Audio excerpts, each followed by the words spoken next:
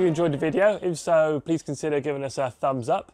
And if you'd like to see more smudge videos in the future, then click that subscribe button below and change the alert icon to all. Thanks for watching and we look forward to hearing from you in the comments.